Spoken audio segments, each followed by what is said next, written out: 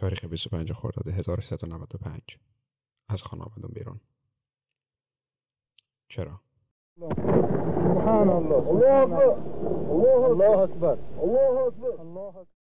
جنگ بود. اما همش به خاطر جنگ نبود.